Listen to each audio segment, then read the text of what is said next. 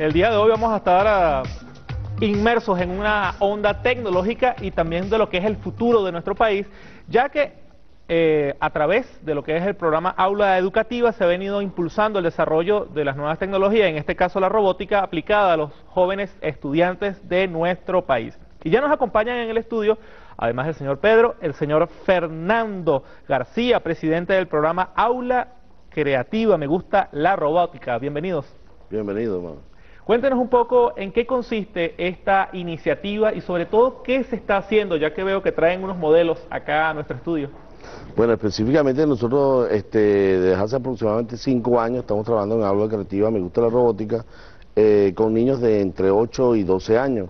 La idea es que ir haciendo un acompañamiento en el transcurso de 5 o 10 años a los niños que de alguna forma tengan a bien el programa o el proyecto y este, ver estos niños en 10 años inmersos en lo que es la, el área de la robótica es sumamente importante. Para ello, lógicamente, nos, fundamentamos en la Constitución Nacional, en su artículo 110, y en el Plan de la Patria, lógicamente 2013, el 2019, y el, este, el Plan Nacional Simón Bolívar en su objetivo número uno, que es la defensa nacional este, y, y la independencia nacional. ¿no? Entonces, en este marco nosotros hemos creído, este, un equipo que, no, que, no, que estamos trabajando en esta área, hemos creído la necesidad de ir un poco más abajo, no solamente a nivel de secundaria, no solamente a nivel universitario, sino ir a los niños, quienes de alguna manera conozcan, conocer no solamente la robótica en cuanto a su manejo, sino conocerla desde la misma esencia de lo que es la, la, robótica, comenzando a construir en los robots desde desde el simple alambre, desde, simple, desde la simple batería hasta llevar al chip, a las memorias y la programación a través de las canaimas. También esto es sumamente importante destacarlo, tratar, este, informarle pues al, pueblo nacional Simón Bolívar, al pueblo nacional de Venezuela, que en esta revolución nosotros hemos aprovechado de, la, eh, de las canaimitas que eh, fueron muy criticadas en un principio para... Ah, eh, profundizar en el área de robótica. A través de las academitas estamos nosotros hoy en día programando eh, los robots. ¿Por qué es importante la robótica? Y la misma pregunta, ¿por qué es importante la robótica para Venezuela? Bueno, la robótica es sumamente importante para Venezuela porque en casi todas este, las necesidades que tenemos nosotros que cubrir en nuestra vida cotidiana se usa la robótica y no lo sabemos. Eh, y para las grandes industrias de, de Venezuela también este en el sentido, por ejemplo, en una fábrica de vehículos, como dijo el presidente hace aproximadamente un mes, en un, en un programa que llevó a cabo un día viernes, este, en, en la construcción de vehículos, la robótica tiene una función fundamental para lo que es el ensamblaje de lo que son los, de los, vehículos los vehículos pues. igualmente este en, las casas inteligentes se usa la robótica eh, en, en, todo lo que tiene que ver con la parte de ciencia y tecnología, la robótica está en nuestra vida cotidiana permanentemente. Aquí mismo en las cámaras, en las cámaras de alguna forma eh, se puede utilizar la robótica. En la defensa de las fronteras nacionales se puede utilizar la robótica. Hoy tenemos unos, unos muchachos a nivel de, universitario en la UNEFA, que gracias a nuestro presidente Hugo Rafael Chávez Frías este, pudimos ingresar muchos jóvenes a la, a la, a la UNEFA y eh, están desarrollando un avión no tripulado y todo esto es manejado con robótica. ¿Qué dijo el presidente de la República, Nicolás Maduro, a propósito de este importante tema? Escuchemos sus palabras. En Alemania, oh, quedan locos pues, ahí no interviene prácticamente un solo ser humano. Interviene al principio cuando toca el botón y al final cuando sale el carro, listo. Y si antes en las líneas de producción automotriz sacaban, no sé qué te digo, semanalmente en una línea importante, priorizada, 100, 200 carros, hoy están sacando 2000. Producto del desarrollo de la robótica y la precisión de la robótica. Es un punto de conocimiento muy importante que yo creo que nuestro país tiene que formar ya en este momento, querido compañero. Quiero que me hagas un comentario de esto, pero tenemos que formar ya una comisión especial para mandar a formar a nuestros muchachos y muchachas, a la generación de oro, en el manejo de la más alta tecnología, particularmente la robótica. Es un elemento vital para aquellos que tienen la vocación natural, los invito desde ya a lo que vamos a crear. Bueno, y también tenemos en el estudio, además de este sonido del presidente Nicolás Maduro, a Pedro Muñoz. Ustedes se preguntarán quién es él. Pues bien, él es profesor de robótica y también se encuentra acá en el estudio para ilustrarnos un poco los desarrollos que los pequeños niños han realizado sobre esta importante área del conocimiento. Pedro. Muchas gracias por la oportunidad. Eh, actualmente estamos en tres escuelas de la parroquia Sucre, específicamente en la escuela Miguel Antonio Caro, Unidad Educativa Bolivariana Miguel Antonio Caro, Florencio Jiménez que queda en Katia y la escuela Sergio Medina que la tenemos en Propatria. Estos son algunos de los robots con que hemos comenzado son robots hechos por los niños, imaginados por los niños, desarrollados por los niños, claro, con la ayuda de nosotros, de todo este equipo de la ola creativa. Son robots programados a través de la Canaima. ¿Puedes encender alguno para verlo en pleno movimiento? Este es un robot que tiene la capacidad, un sensor infrarrojo que tiene la capacidad de detectar obstáculos y poder evadirlos para no chocar, que puede tener otras aplicaciones en el futuro. Cabe destacar que todos los ¿E-, ¿Ese robot lo hizo qué niño?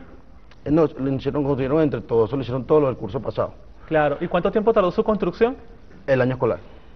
Claro. Lo que está del año escolar. Actualmente estamos desarrollando otros, otros productos, otros robots, pero todos construidos o pensados en función de resolver un problema dentro de las comunidades.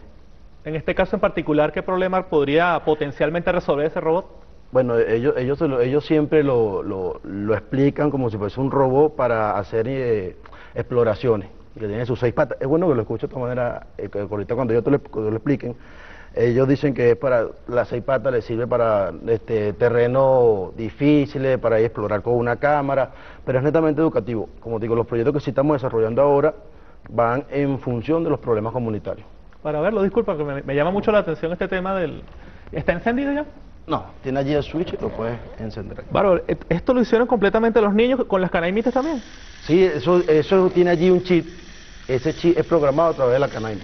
Claro. Ellos le dan instrucciones al robot. Aprenden a hablar el lenguaje de máquina en un robot. Claro, ¿tiene nombre robot? Exapo, se llama Exapo. Exapo se llama. Mm, interesante de verdad. Vamos a ver entonces que el pequeño robot haga de las suyas en el estudio mientras seguimos hablando del tema. Cuéntenos un poco eh, el nivel que Venezuela ha alcanzado a nivel educativo en el tema de la robótica. Bueno, este, nosotros, como ya puedes ver, tenemos niños de, de 10 y 11 años que ya están programando. Entonces, imaginemos que podrán ser esos niños el día de mañana cuando estén en una universidad. Creo que es mucho lo que pueden aportar al desarrollo de nuestro país. son los pequeños niños científicos y científicas de nuestro país. ¿Cuál podría ser la potencial aplicación de la tecnología robótica en la realidad actual de Venezuela? Eh, yo creo que la robótica tiene que ver con todo, con todo tipo de desarrollo. Por darte un ejemplo, eh, nosotros ahorita hay unos niños que están desarrollando unos sistemas con aplicaciones de robótica para eh, hacer sembrar eh, algunos o cosechar algunos productos de algunas frutas dentro de su escuela con sistemas de riego computarizado también programado a través de la Canaima. ¿Cuál es el costo de la elaboración de este tipo de proyectos, por ejemplo? Ese es otro detalle. Este, eso es una tarjeta que normalmente se trae de afuera la tarjeta cuesta alrededor de 3.000 bolívares, 3.000, 4.000 bolívares.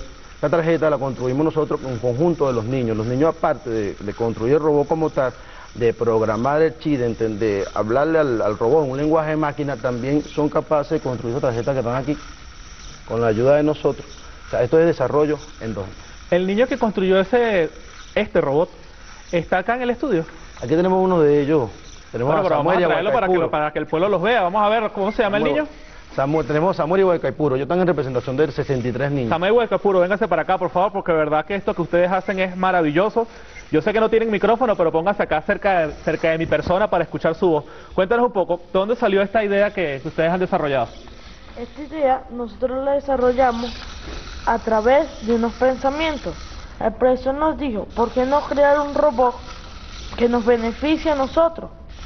Este robot nosotros lo construimos a, través de ideas que nosotros mismos entendimos. Nosotros hicimos dibujos y dibujos de este robot. Los profesores hicieron tanto robot que salió este. ¿Ves? Así fue la idea de sacar este robot de ideas de nuestro pensamiento. Este robot, el profesor lo empezó a hacer con niños menores que nosotros, mayores. Ajá. Este, ellos empezaron a hacer robots no de este tipo, sino de cartones y de eso. Después fue que le incrustaron todo esto que ustedes ven aquí. Háblame algo. Y nuestro pequeño amigo que está acá, Huecaipuro, vente cerca de mí para que tu voz pueda ser eh, captada por el micrófono que tengo acá, la bolita. Háblanos un poco de este desarrollo, porque de verdad es sorprendente no solamente el nivel de complejidad, sino también la naturalidad con la que hablan sobre esto. No, sí, nos, el profesor nos, dio, nos daba el guion para, para que nosotros el día de mañana tengamos una información de la tecnología y la robótica. Bueno, de verdad, mis saludos y respeto, Samuel y Guaycaipuro, por este excelente trabajo y creo que de verdad esto nos ilustra mucho sobre lo que es la Venezuela del futuro y las potencialidades que todo esto tiene, Pedro. Sí, ¿puede explicarle en qué consiste el robot completo? Bueno, si me vas a explicar, vamos a ponernos acá cerca de la balita, eh, mi estimado Samuel, para que tu voz se escuche, cuéntanos. Ah, una pregunta, ¿por qué ustedes creen que este robot se llama sapo? Porque se parece a un sapo, no, no sé, disculpen. Esa pregunta, esa respuesta no las han hecho todos. Este robot es el sapo, ustedes ven las seis patas que tiene. Ajá.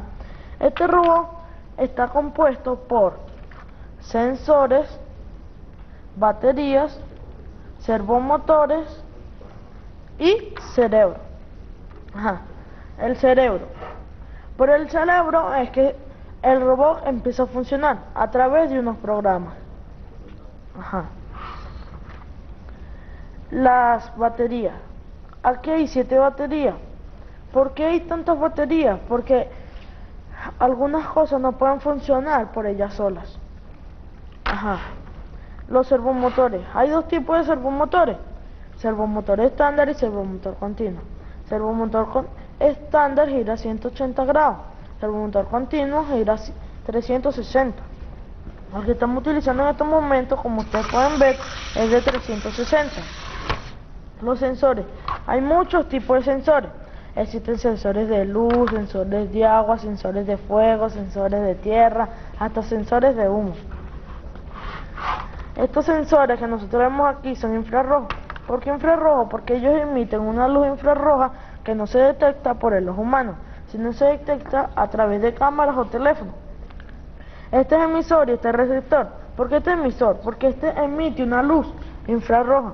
Cuando ustedes ven que ustedes le ponen la mano, él envía la luz. Cuando pega del objeto o rebota, la recibe el emisor, enviándole una señal al cerebro que está aquí, diciéndole, haz otra función, hay un objeto y ustedes verán la función que hace. Samuel, cuéntame, ¿cuáles son tus planes y proyectos? Ya hiciste este robot que estamos viendo acá en el estudio, pero no dudo en imaginar de que estás pensando en algo mucho más ambicioso. Cuéntanos de tus planes. Sí, como el profesor les dijo, este, yo soy un líder que va a hacer un proyecto. Mi proyecto se trata sobre cuando los motorizados dejan las motos mal estacionadas, este, tenemos un robot que agarre las motos y las lleva a un estacionamiento donde el motorizado podrá buscarla y podrá retirarla y se le dará una multa para que no deje las motos mal estacionadas. Ese robot se compone en un camión que tenga un brazo robótico, este, cuando el, brazo robótico esté arriba de la moto, soltará cadenas. Cuando suelte esas cadenas, habrá ganchos. De esos ganchos la moto se amarrará y se sujetará así. Los ganchos con motores, claro, claro. motores girarán así. Bueno, Samuel, te cuento algo. Me parece muy interesante de verdad la iniciativa que has que estás realizando junto a el proyecto que se está impulsando acá en el gobierno, pero te propongo que al regreso continuemos hablando de este interesante proyecto, ya que tenemos que hacer una pausa, pero ustedes que nos están sintonizando no se vayan porque al regreso continuamos con este interesantísimo programa de la robótica aplicada a la escuela. Ya venimos.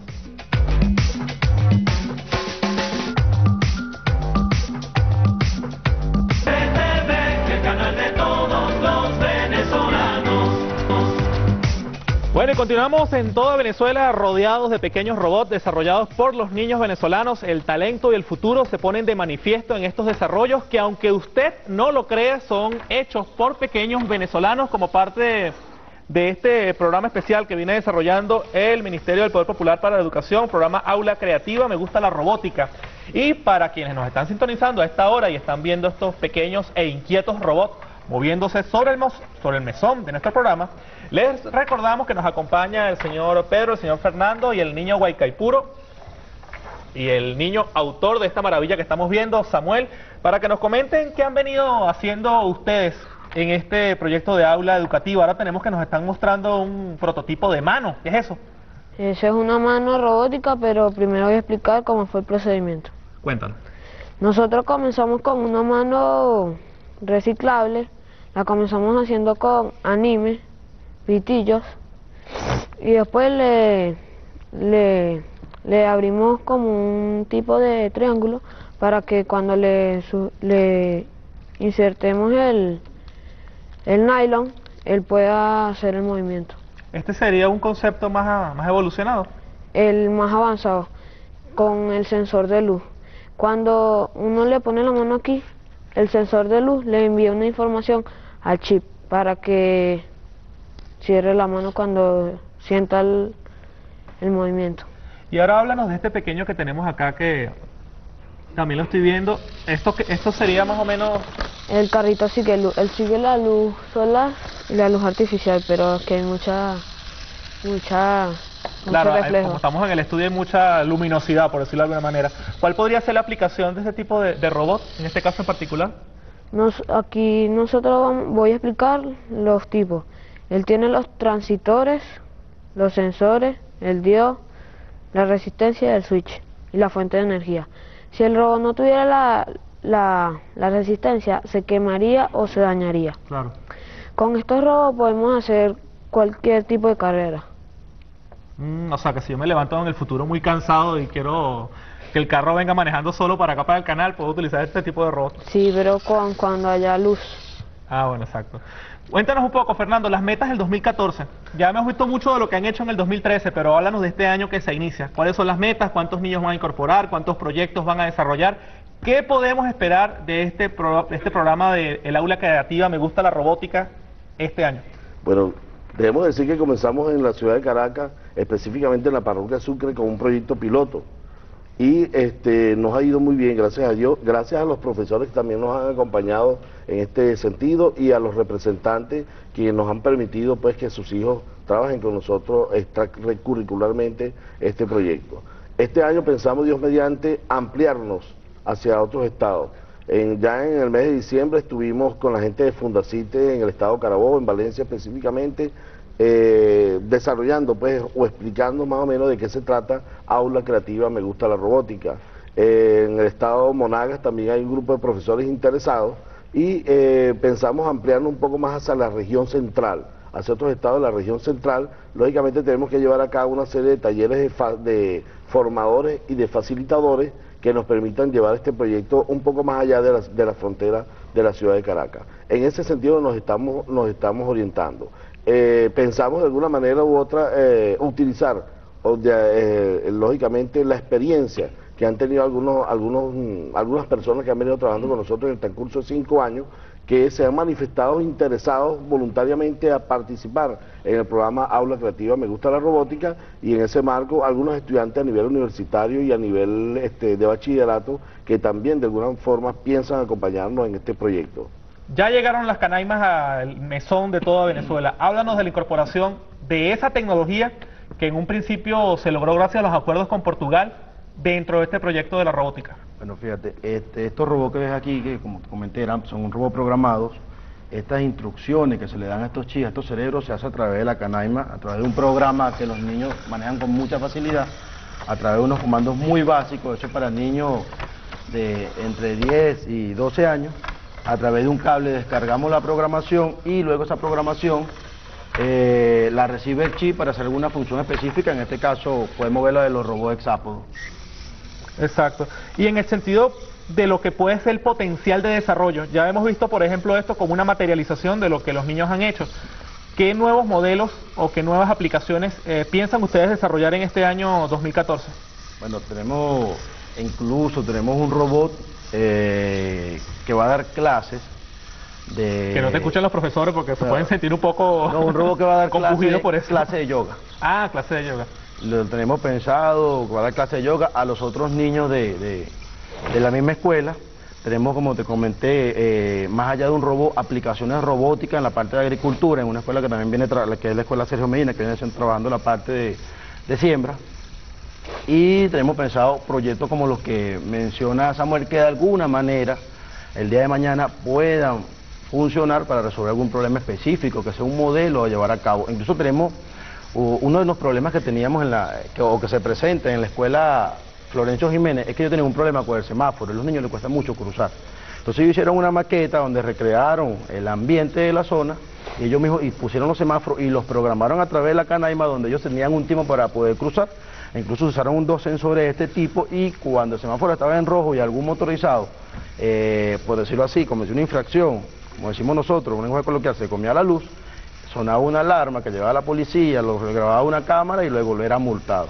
Entonces, son, hemos venido haciendo trabajos que yo creo que el día de mañana se pueden tomar como modelo para implementarlo en nuestras comunidades. Samuel Huaycaipuro, ¿cómo se sienten con esta iniciativa? Mucho mejor que antes porque este profesor nos ha dado la oportunidad de aprender, de aprender robótica. Yo cuando estaba en tercer grado no, nunca pensé que iba a dar robótica. Yo, yo empecé a aprender robótica fue en quinto y yo me siento muy orgulloso de aprender esto. Y gracias a la Canaima este, hemos programado estos robots como ustedes lo están viendo actuar ahorita. Huaycaipuro. Nosotros en el colegio como tal nos sentimos satisfechos por este gran aprendizaje de la tecnología. ¿Qué les dicen sus compañeritos de clase, sus familiares, sus amigos cuando ven todo lo que ustedes están haciendo?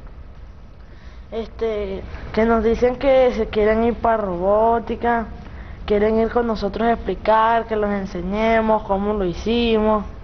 ¿Qué le dirías tú a los otros niños que te están viendo o probablemente te lleguen a ver en las retransmisiones de este programa sobre la robótica? Que no pierdan oportunidad, este, este programa es muy bueno y hay, que aprender mucho. Fernando y Pedro, ¿cómo se sienten ustedes al ver lo que están haciendo, al ver lo que han logrado y al ver al futuro, al horizonte, lo que van a hacer? Mira, sumamente satisfecho. Yo estoy convencido que aquí tenemos los científicos de Venezuela, los científicos niños de Venezuela, que haciéndole seguimiento a los que de alguna forma u otra quieran continuar en este programa, en el transcurso de cinco años o diez años serán los genios de la creación de la independencia tecnológica en Venezuela, que es lo más importante de todo el programa en sí. Llevar adelante a Venezuela hacia un desarrollo tecnológico que nos permite de alguna forma no independizarnos del, todo, porque existe de alguna forma una integración con, otros países en el sistema, en el área, lo que significa la ciencia y la tecnología, pero sí de alguna manera dando alguna independencia de, distintas áreas en el área de la, tecnología, de la ciencia y la tecnología en, el mundo. Pues. Pedro Muñoz. completamente satisfecho. Te quería comentar que cuando uno ve a los niños así, uno, uno dice, valió la pena el trabajo, valió la pena tanto esfuerzo Quería comentarte que nosotros teníamos un sueño que era niños dándole clase a otros niños. Este, mm. este año se completó ya que son niños que vienen del curso pasado y ellos están como líderes de grupo con los niños nuevos y ellos son los, parte que son líderes de grupo, son los que le dan clase a estos niños. Son un sueño para nosotros, niños dando clase a otros niños. Una pregunta que sin duda alguna es interesante hacer. En América Latina y la educación aplicada a la robótica. ¿Cómo está Venezuela? Nosotros digamos que existen algunas iniciativas a nivel nacional. En, otra, en otros espacios existen otras personas que están haciendo este trabajo también.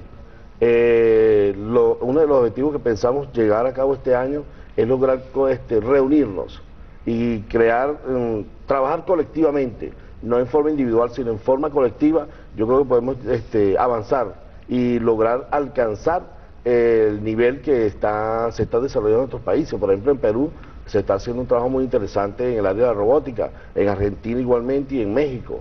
Pero yo creo que nosotros en el término de, dos años, y es un plan lógicamente de dos, tres, cuatro años, nosotros vamos a estar entre los primeros países en Latinoamérica eh, llevando adelante lo que es el área de la robótica eh, aplicado especialmente a niños y niñas eh, comprendidos pues entre 8 y 12 años. Bueno, hablamos de gracias entonces al señor Pedro Muñoz, al señor Fernando y a estos jóvenes e inteligentes niños, Guaycaipuro y Samuel, y también a su amiguito del robot, que muy amablemente han tenido el placer de compartir con nosotros este interesante trabajo que han venido realizando.